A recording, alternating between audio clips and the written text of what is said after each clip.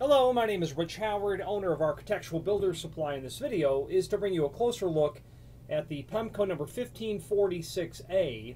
This is a 6-inch saddle type threshold with a smooth top.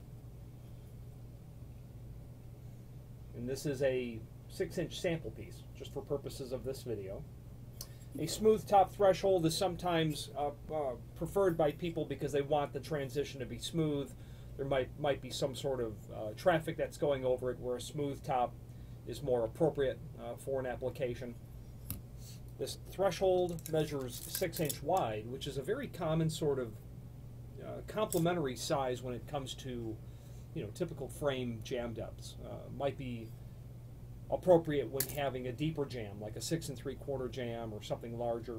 Uh, some people will also use this with a smaller jamb profile and then run it long and notch the material or cope the the uh, frame around uh, the pardon me cope the threshold around the jamb or maybe do an L notch that sort of arrangement.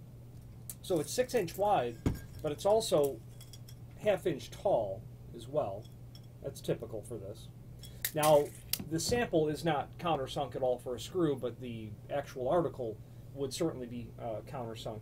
This is also available in uh, dark bronze uh, and gold, a gold anodized finish. So the A means mill aluminum finish. D would mean dark bronze anodized. G would be gold anodized, and all of that is on an aluminum base material. Available on the website in several different lengths. If you have need for a custom length, by all means let us know by ordering the next longest piece or pieces and indicate in the comment field what length you'd like for us to cut the material back to. The reasoning is that first countersink will be about four inches or so from the end, plus or minus. If you were to take a stock length and cut it down more than four inch or thereabouts, you'd likely cut that countersink off. So if you ordered a custom length, we'd not only locate that first countersink at the proper distance from the edge, but the proper center to center as well. It's always available undrilled, and you would just specify that. Screws would be included, and they're generally about a number 10 by inch and a half flathead wood screw.